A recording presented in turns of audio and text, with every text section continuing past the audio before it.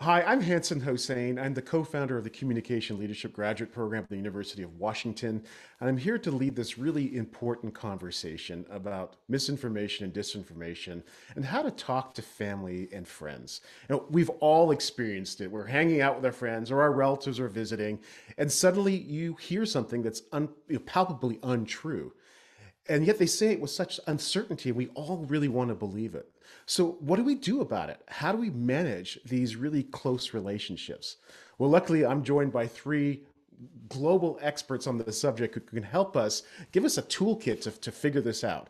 Uh, Maddy Jalbert is a postdoctoral scholar at the Center for an Informed Public. She has a background in social psychology and studies how context and our experiences influence our memory, judgment, and decision making. And Kate Starbird is the current director for the Center of, an, uh, of the Center for an Informed Public. And Kate has great expertise in online disinformation, and especially in managing online rumors during crises. And Jevin West, like Kate, is a co-founder of the Center for an Informed Public and the founding director of the center. His research focuses on misinformation specifically in and about science. Uh, well, Kate, I'll start with you. I should I say Happy Misinformation Day? Is there anything happy about misinformation? Uh, not not typically, but I think uh, what is what is hopeful is that we're learning about how to uh, identify it and address it. And I think you know if we look back a couple of years, we've made a lot of progress uh, towards um, towards under un understanding the problem a little bit better and towards um, uh, identifying potential solutions for um, mitigating it in our own lives and then maybe for addressing it in some of our relationships, uh, although it's more complicated than, than our slide here would have you believe. well, I'm just wondering, uh, just moving along with this idea that we have identified this as a problem. When it comes to these really personal relationships, our friendships and our family relationships, how seriously should we take it when something like misinformation comes up in a conversation, whether it's online or in person? I think, you know, it, it's difficult um, because a lot of us are, are, um, are stimulated, agitated in some ways by by misinformation when we hear it. And for me, one of the things I want to I try to think about is like, is this worth addressing? If it's something that you know, is it harmful or is it harmless? Um, if it is harmful, how harmful is it? Is it worth uh, me kind of uh, uh, maybe sacrificing a relationship to try to address it? I think there are cases where it is really important to kind of tried to address, especially disinformation, which is uh, false information or misleading information that's trying to, you know, undermine our trust in in um, the democratic process, for instance.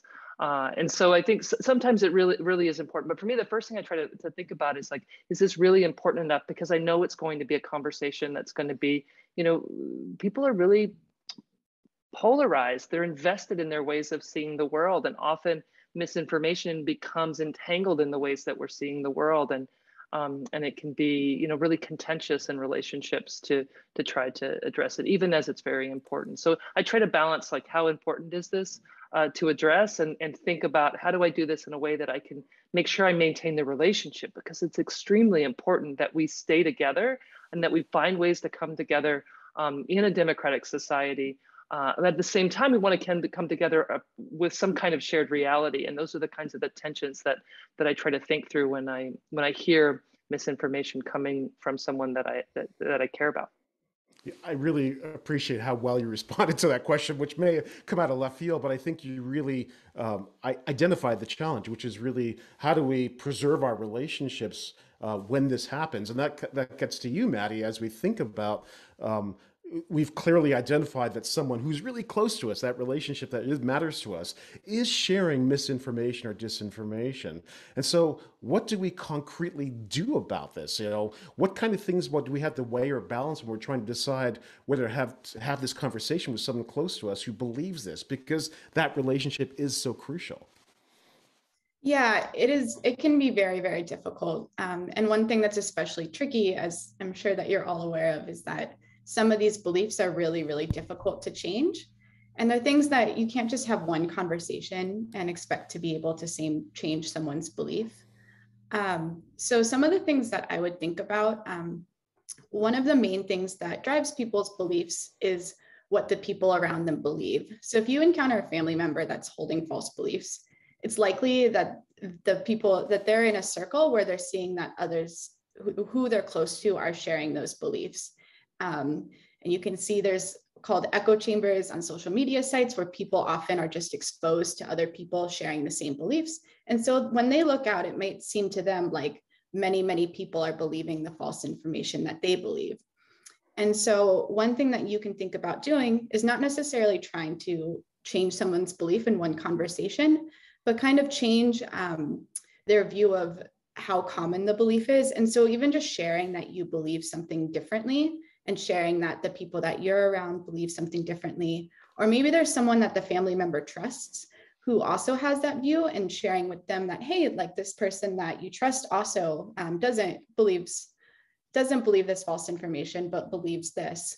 And so that's a way to go about it without having to kind of start an argument with someone, but really just um, show someone that there are other beliefs out there, including your own. And I might also think about how these conversations might not be just a one time conversation. If there's someone that you're close to, it's likely to come up multiple times.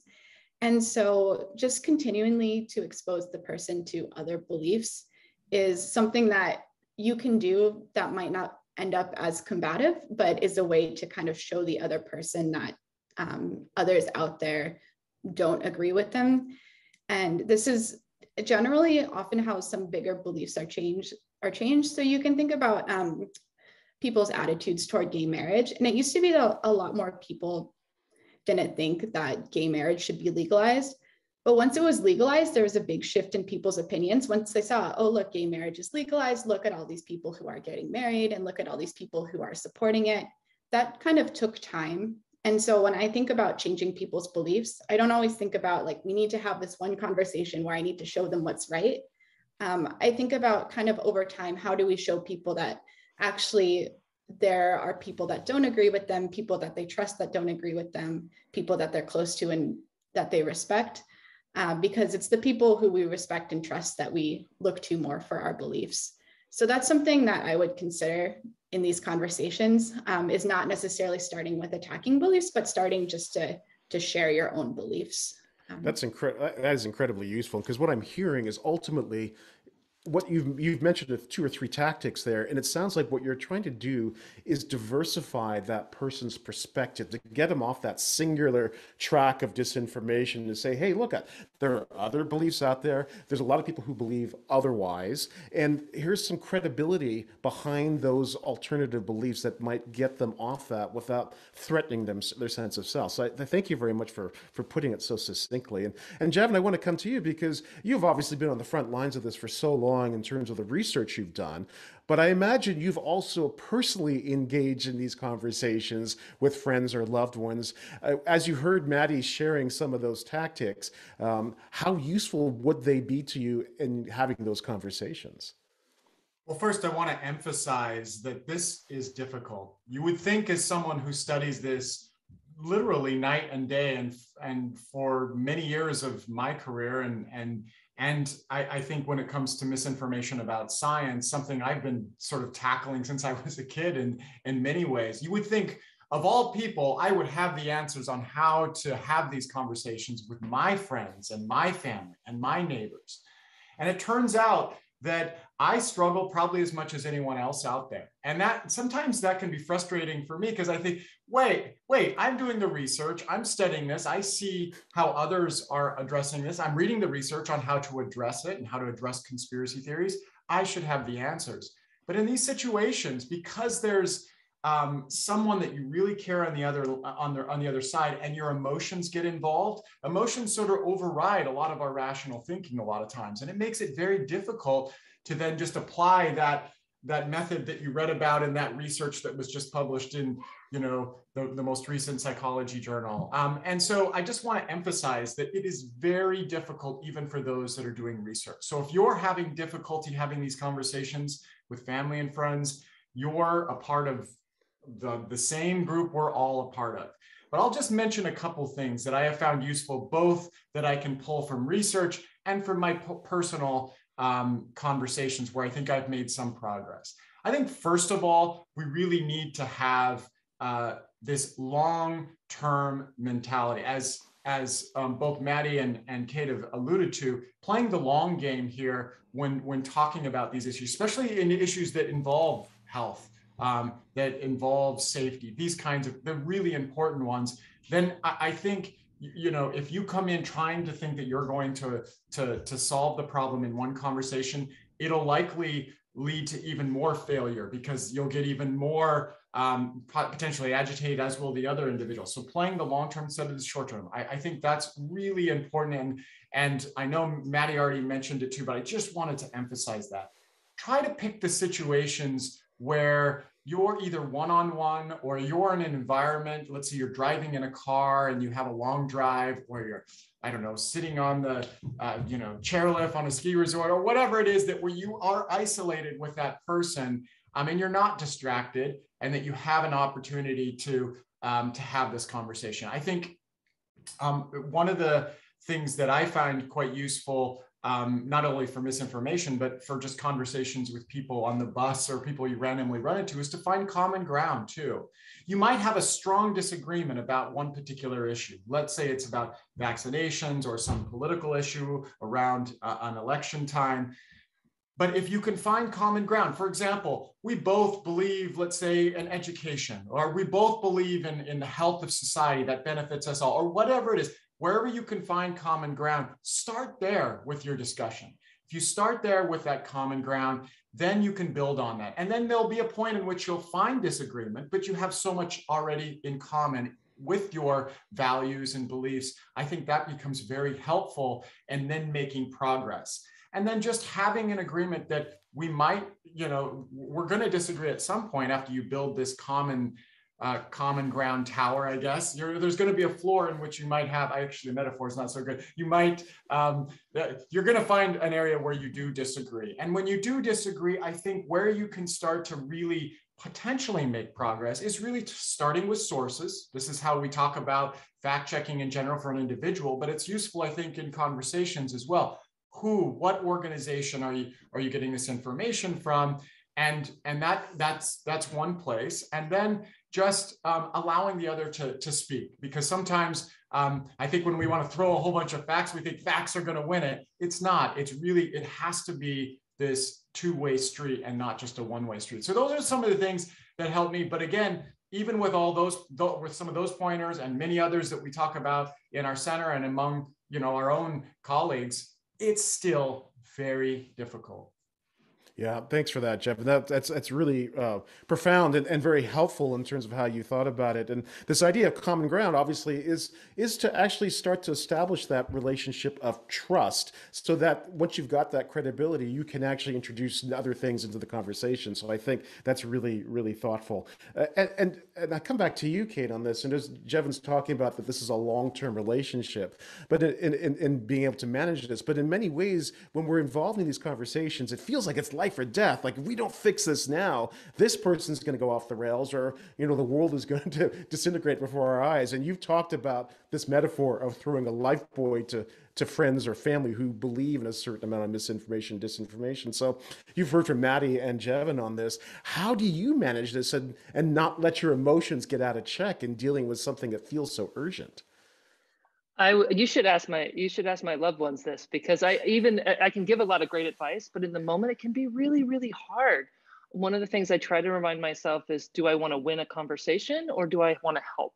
And those are two different approaches. Um, and I don't think winning winning the conversation is never is, is not really going to help in the long run. I also try to approach with a little bit of humility and a lot of empathy. And I, having studied disinformation for a while and misinformation as well, I have seen that we're all vulnerable to spreading false information, especially when we're, um, especially in times of uncertainty and when we're eh, within our, you know, partisan political identities. These are times where where we can can all be vulnerable. And I, when I see someone else spreading what I think is misinformation, I remember back to times when I might have done it, um, and and and try to, you know, approach approach from there. And and to be honest giving a little ground on that acknowledging that i've made mistakes before can be a really helpful inroad into some of these conversations. If in the moment you're telling someone they're going to do something that they've done something wrong their natural inclination is to defend themselves and to and to dig in. And so uh, and that's not a, a, healthy place to start a conversation, especially conversations with such high stakes for health and democracy and other kinds of things.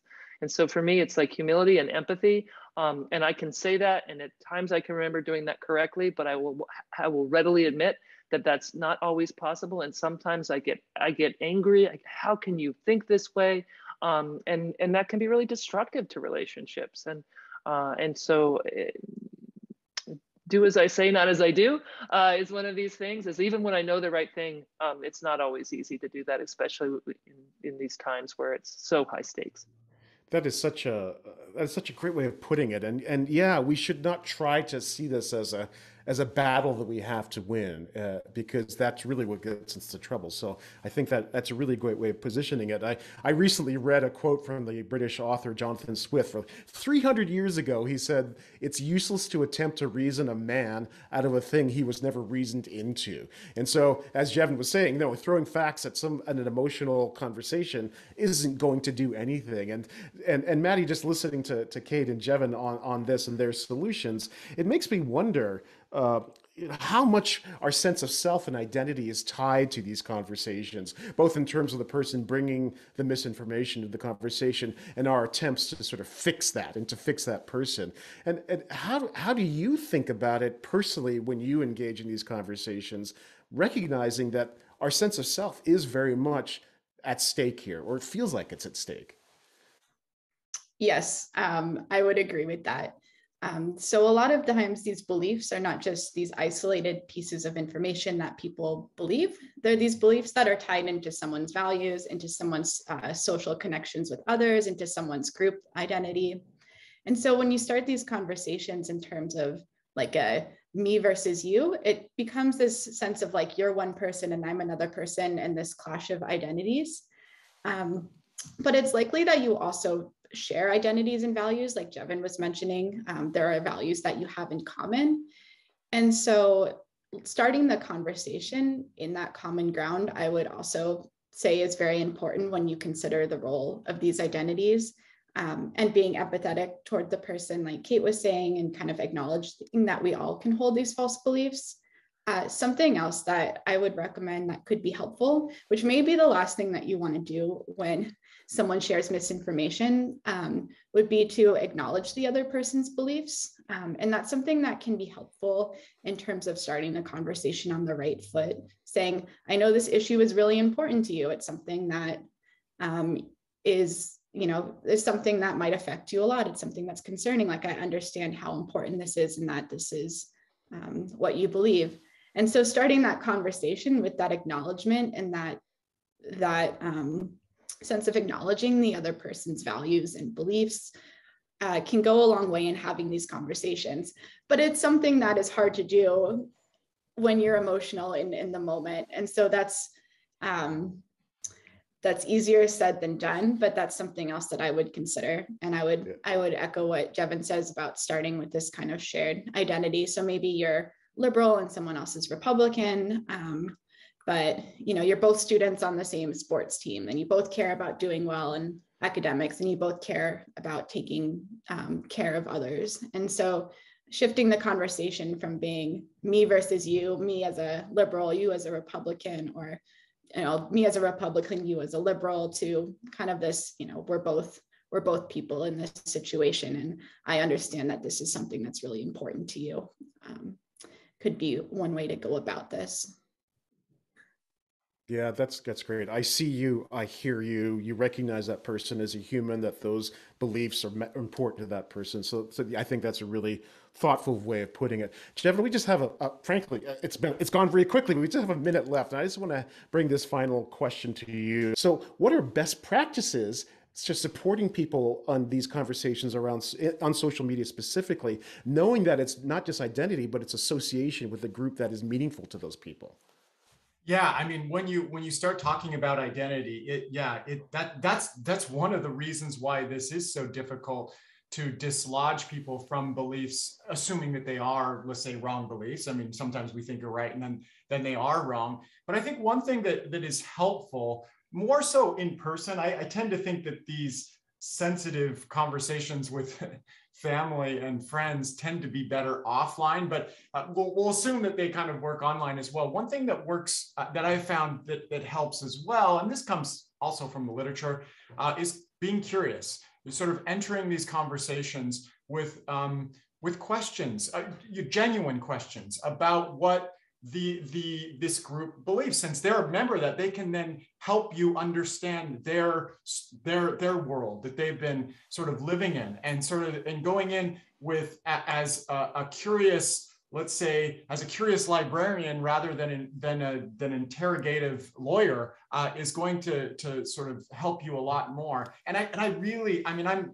i think a lot of us are curious by nature. I certainly consider myself that and maybe i push it too much by asking all these questions but I really feel that when I ask questions and I engage with what what they're seeing, why they're seeing it, um, and why this you know this person, whether it's a family member or friend, um, where you know why they believe that and, and how they got to those conclusions. And I and you have to be careful about it so it doesn't sound like you're pandering um, them. I, I think that just being curious, being curious about what led to their beliefs uh, or or where what else they're seeing um, and then engaging in that way and then and then kind of picking your battles maybe picking after you've heard the explanations to the questions figuring out which of the issues that you think you can engage in after you've asked questions about well um, yeah what, what else are, are people seeing right now let's say in mainstream media that's bothering them or or what are some what are what are the most common things you're talking about right now in your social group and then they'll say well this is the thing that we're hearing we're hearing a lot about you know, some of these research studies out of the CDC that um, you know, are, are now just being released. Why is that? You know, then we okay, then we can engage on it because starting with questions rather than statements about what I'm going to tell you, um, I have found uh, can be helpful too. So I guess the, the point there is be curious rather than interrogative. So, Kate, we just heard from Jevin saying, be curious as we engage with our friends and family.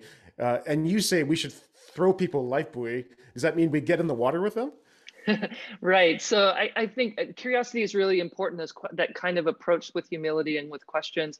But I think we also have to protect ourselves as well. Um, mis and disinformation can be very disorienting and confusing. And so I like to say, I'll, I'll throw you the life buoy, but I'm not going to jump in the water with you. Um, if you feel yourself being pulled down the rabbit hole with your loved one, that's a place where you might want to put up um, put up some protections for yourself uh, in those conversations. So approach with curiosity in the sense that you're having a conversation, you want to learn about why they think that, but do realize that these can be really compelling arguments in some cases. And, um, and you know, they're, just be careful um, with your own with your own mental health and with your own sort of capacity to make sense of these very confusing information spaces. Well, Kate, I think that's a really good way to close. I mean, we, we're ultimately trying to preserve these relationships with our friends and family. So, this idea of approaching them with humility, of recognizing their identity, and this idea of, you know, a, a sort of a, a, measured curiosity really helps us have these conversations and, and, and manage this situation around misinformation and disinformation on Misinformation Day. So, Jevin, Kate, and Maddy, thanks so much for your insights. Thanks so much, Hanson. Thank you. Thank you, Hanson.